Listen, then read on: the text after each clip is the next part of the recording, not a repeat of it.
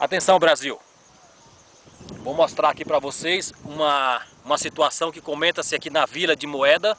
Moeda é uma vila é, em Cabo Delgado, aqui em Moçambique, que, onde houve um massacre em 1960, é onde morreram de 600 moçambicanos aí na questão da independência contra os portugueses. Então comenta-se que há uma fenda, há um buraco de moeda onde as pessoas se aproximam e puxam, né? Puxam as pessoas. Vou mostrar para vocês o que que é. Na verdade é uma grande erosão, tá? Mas é uma vista muito bonita, é uma vista muito bonita, não há, não há o que negar, mas é simplesmente uma erosão.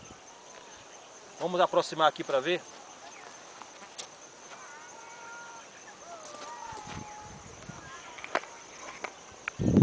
Aí, como vocês estão vendo aí, ó, é uma grande erosão, né? Isso aí levou-se muitos anos para acontecer isso.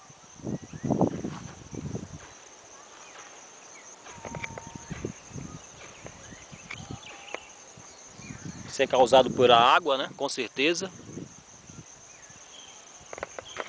A lenda diz que se as pessoas se aproximassem aí, puxa, não há o que negar, é uma é uma vista muito bonita, mas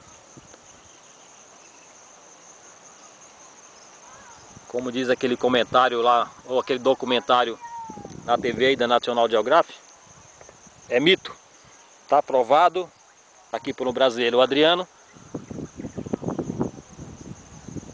aqui em Moçambique, província Cabo Delgado e a Vila de Moeda. Vou mostrar desse lado aqui também.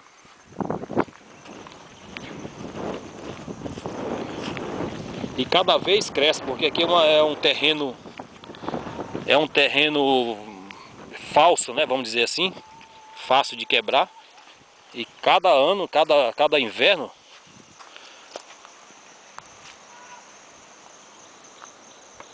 a fenda se espalha mais ainda. Vou mostrar um ângulo assim. Essa é a visão para quem está se aproximando. Tá? Você aproxima e, e acontece. É uma grande erosão. Mais uma vez aí para os moçambicanos, que tem muito deles que tem medo de se aproximar, né, que ainda continua a, a dizer que se aproximando, puxa, há um gás, há uma atração, buraco de moeda, fenda de moeda e puxa as pessoas. Então está eu aqui para mostrar para vocês. Mais uma vez. Valeu Brasil, Moçambique. A fenda de moeda é um mito, é uma lenda. Abraço a todos.